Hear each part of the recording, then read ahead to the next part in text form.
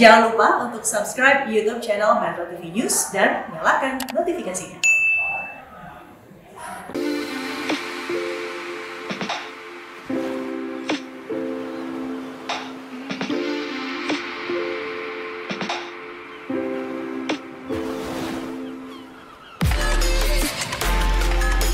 Pesiar di Sulawesi Tenggara. Meresapi bulir air yang jatuh dari batu berundak. Memperkenalkan eloknya Pulau Labengki di utara kota Kendari. Selami dan nikmati pemandangan bawah laut.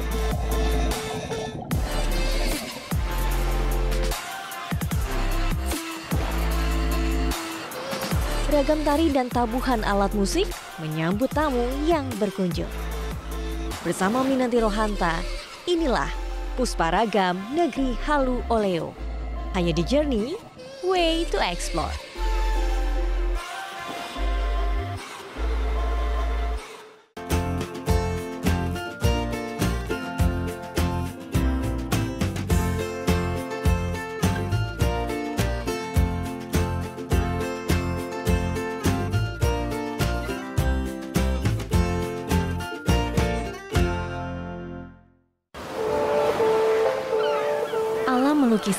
Gradasi warna langit nan cantik bagi pengunjung Pantai Torunipa. Selamat pagi dari Sulawesi Tenggara. Di sini sejuk banget, masih sekitar pukul 7 waktu Indonesia Tengah. Pas banget menikmati udara yang segar, pemandangan yang berbeda, suara air laut yang bikin tenang, dan banyak burung. Jadi ini pokoknya bikin tenang banget deh dan sangat-sangat menikmati. Tepat di ujung timur, salah satu teluk yang mengapit kota Kendari. Terdapat hamparan pasir putih sepanjang 4 km yang menghadap ke Laut Banda. Ini adalah titik kumpul warga Kendari karena di sini pantainya lumayan panjang banget dan sepanjang pantai ada saung jadi pas banget untuk beristirahat. Kalau mau main air laut ya bisa. Di sana juga ada ban-ban yang sudah disediakan dan banana boat. Ke laut aja deket. Yuk ke sana. Pohon cemara sepanjang bibir pantai begitu rindang adanya. Air laut yang biru dengan permukaan yang dangkal membuat pengunjung dapat bebas beraktivitas.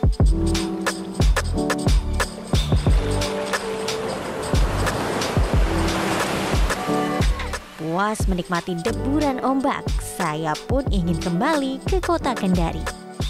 Saat ini perjalanan dari Toronipa ke Kendari akan dilalui selama 45 menit. Namun pada 2022 nanti wisatawan akan merasakan jalanan baru sepanjang 14,3 km. Jadi traveler, siapkan jadwal kamu ya kalau mau ke Toronipa. Karena dari sana juga bisa loh nyebrang ke Pulau Bokori ataupun Labengki.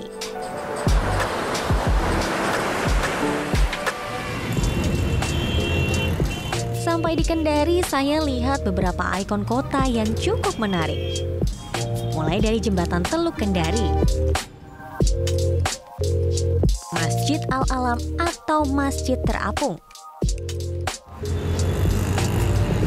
serta Tugu Persatuan MTQ. Di Kendari Beach atau KB, saya akan menemui Nastika Aprilia, Putri Indonesia 2016 asal Sulawesi Tenggara untuk jalan-jalan bareng. Hai, Nastika ya.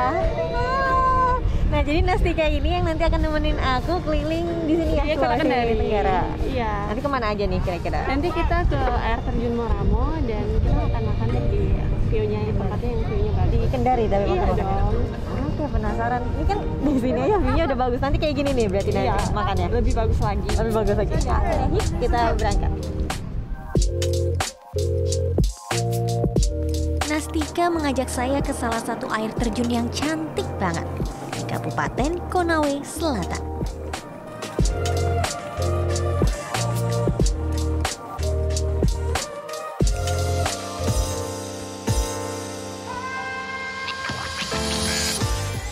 Sampai ke air terjun, kami cukup berjalan kaki sekitar 15 sampai 25 menit melewati jalan datar yang sudah disemen serta anak tangga. Kami berhenti di titik pemberhentian pertama. Kami terus berjalan sedikit ke tengah untuk merasakan segarnya percikan air terjun. Akhirnya sampai juga di sini. Iya, satu berapa? Satu koma dua kilometer ya? Iya lumayan, lumayan banget. Mana jalannya tuh nanjak banget. Kamu capek nggak? Lumayan, keringetan Kalau juga. aku nggak sih, karena uh, pemandangannya bagus deh. Iya bener juga sih kita kebantu ya sama pemandangannya. Udah gitu rimbun banget, jadi adem. Min tahu nggak? Kenapa? Air terjun Moramo ini uh, salah satu wisata yang terbaik di Sulawesi Tenggara. Oh jadi ini salah satu yang paling Iya. bagus di sini. Iya benar. Jadi orang-orang kalau misalnya dari luar kota deh ke sini Iya. semua. apalagi mau cari uh, air terjun yang bagus dan lihat deh airnya. Iya jernih banget. Jernih banget kan? Heeh. Pengen mandi nggak? Pengen sebenarnya tapi tahan dulu deh. Iya. Kayak ini masih ada lagi kan? Masih ada lagi. Masih ada. Ya ampun belum sampai atas aja ini udah kelihatan banget. Air terjunnya bertingkat loh. Iya bagus banget. Kamu juga sering ke sini berarti? Iya, sering banget.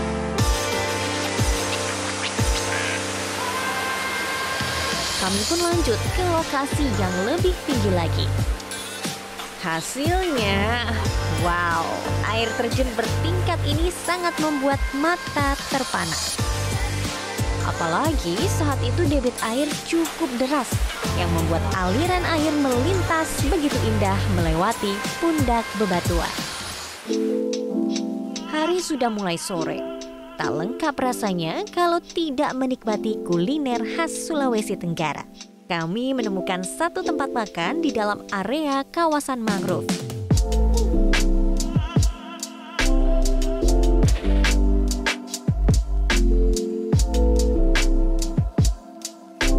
Kami memilih duduk dengan pemandangan laut yang berdampingan dengan bakau.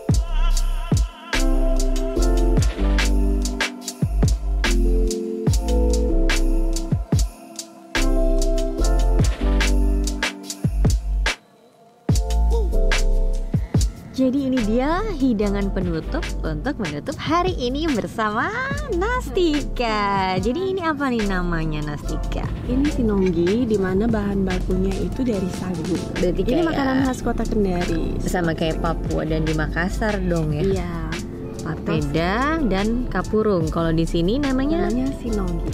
sinonggi Iya, dengan kuah ikan palmara. kuah ikan palmara. Oke, mari kita coba.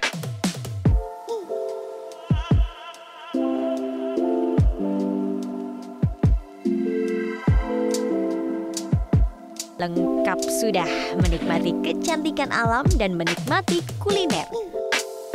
Untuk menutup hari dari pesona Kendari.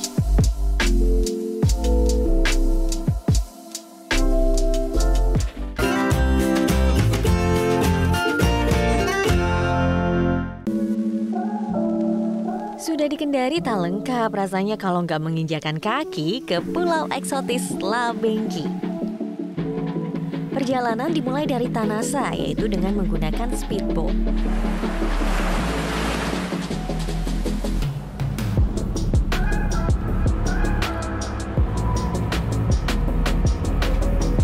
Jaraknya sekitar 40 km dan waktu tempuh kurang lebih 1 jam 20 menit.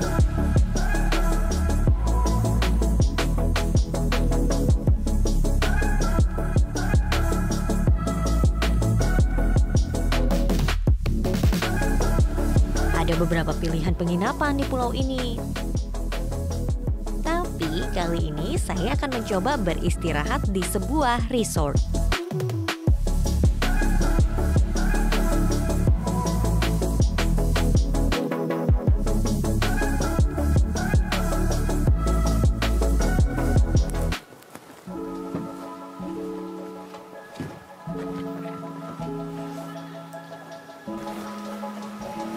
Akhirnya sampai juga di Labengki. Depan penginapan udah bagus banget pemandangannya. Jadi penasaran gimana sekitar sini? Bagaimana daratannya, apa aja wisatanya?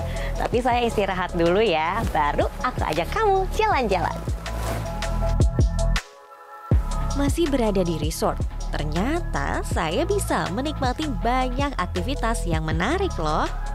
Tepat di belakang penginapan ada satu titik pandang yaitu dari atas dengan pemandangan yang luar biasa banget. Tapi harus hati-hati di naiknya karena banyak batuan kars yang tajam-tajam.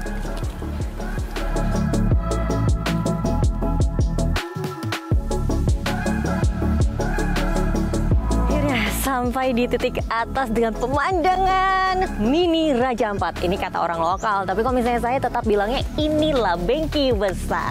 Di sisi belakang ada juga pemandangan yang bagus, yaitu laut dengan bentuk hati. Jadi ini dia pemandangan dari udara. Pulau Labengki besar ini dikelilingi pulau-pulau kecil yang indah dengan struktur batuan kars. Maka dari itu, sejauh mata memandang, suguhan karang-karang besar yang menjulang tinggi mirip dengan Raja Ampat yang sudah lebih dahulu dikenal oleh masyarakat luas. Sedangkan jika bergeser sedikit ke sisi lainnya, kamu akan melihat pemandangan tepi laut yang menyerupai bentuk hati. Tetap di lokasi yang sama, saya pun ingin bermain olahraga air. Setelah puas menikmati pemandangan di Labengki ini dari atas tebing kars, sekarang waktunya menikmati air lautnya, tapi dengan cara yang berbeda yaitu paddling. Paddling kali ini cukup berbeda karena dapat pemandangan pulau kecil dan terumbu karang dengan ikan-ikan yang terlihat dari jernihnya air laut. Bagi saya yang gak biasa, paddling ini cukup sulit dilakukan untuk menjaga keseimbangan saat berdiri. Kuncinya yaitu kaki harus rileks dan tetap tenang. Tapi kalau ada gelombang air laut, tentu saja saya suka langsung panik dan terjatuh. Saat sudah mulai bisa mengendalikan diri, akhirnya saya bisa deh mengayuh dayung dengan tenang dan menikmati keindahan sekitar Labengki. Mencari keseruan lainnya, saya akan menuju Laguna Mahumalalang atau Blue Lagoon. Untuk menemukan harta karun yang indah, saya harus melewati batuan kars yang tajam terlebih dahulu.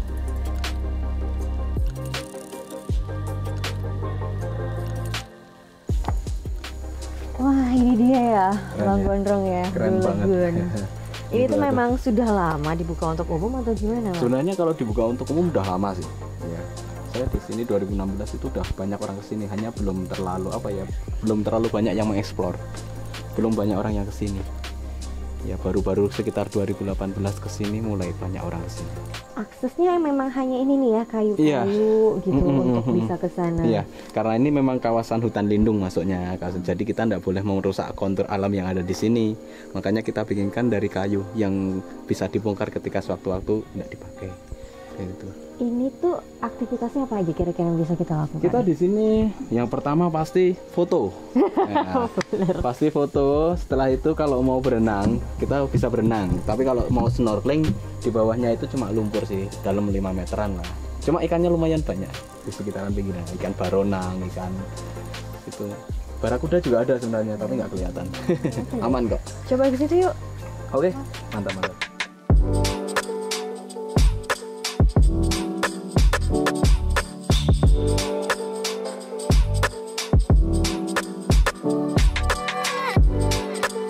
Balik batuan kars ini terdapat air tawar dengan warna biru yang menyerupai hijau toska yang menggoda. Saya membawa kano dari resort sehingga dapat menikmatinya dengan cara yang berbeda.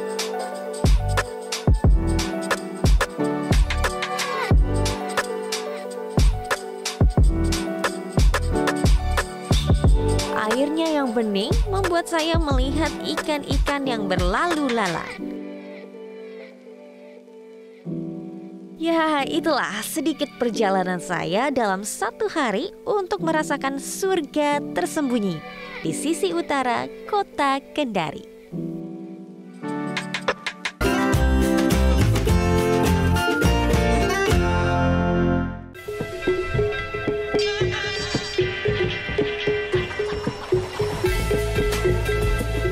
Festival Labengki, harapan baru menuju destinasi wisata masa depan untuk memikat mata mancanegara.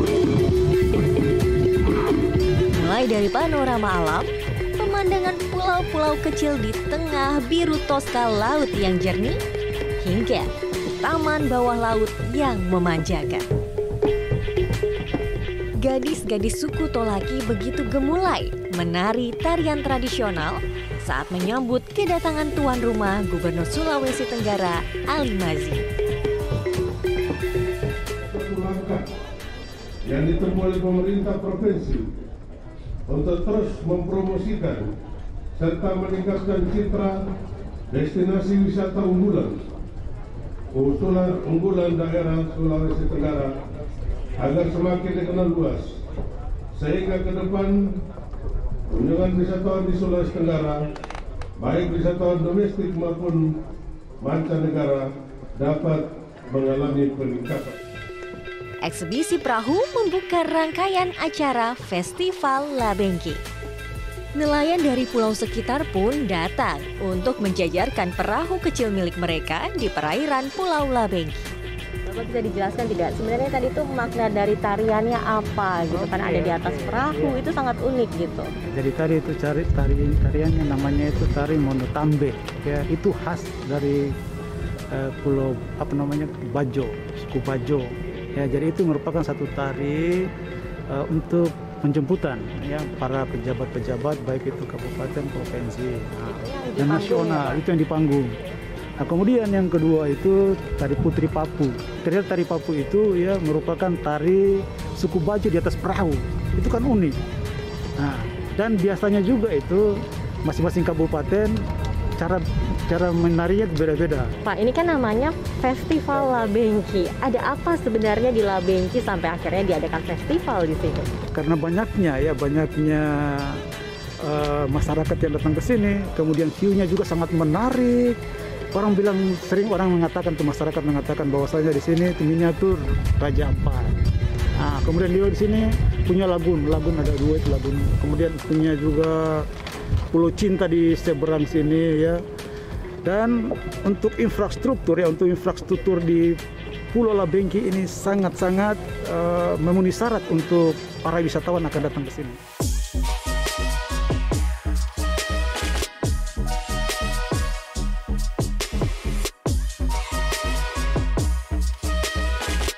Rangkaian acara lainnya adalah penanaman anakan terumbu karang. Lokasinya tak jauh dari bibir pantai.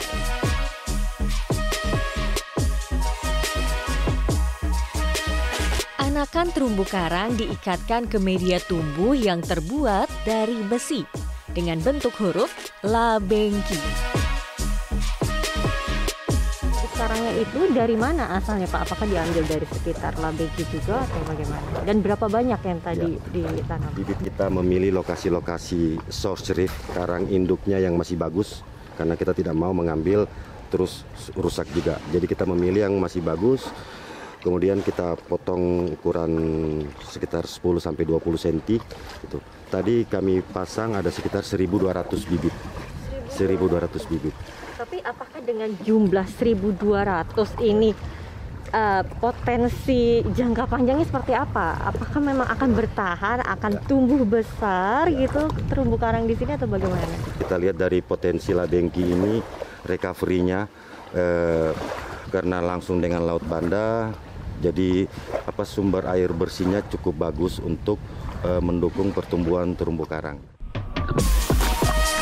Melihat potensi bawah lautnya, kami pun mencoba menyelam di titik yang berbeda. Di kedalaman sekitar 5 hingga 10 meter, hamparan terumbu karang terlihat begitu cantik. Ikan-ikan kecil pasti dapat kamu temui jika diving ataupun sekedar snorkeling di sini. Nah, ini dia ikan badut yang kerap menyapa penyelam. Hai Nemo!